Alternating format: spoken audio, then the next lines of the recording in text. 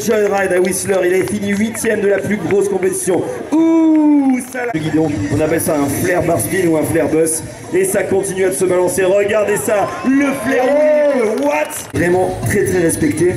L'idée de pousser les figures les plus simples au maximum. Oh, regardez ça qu'il s'est tourné complètement vers le show. Et quel showman, vous allez le voir. Je vous demande d'applaudir, s'il vous plaît. Vous m'entendez, vous allez le faire pour l'excellent Julien Perret, s'il vous plaît.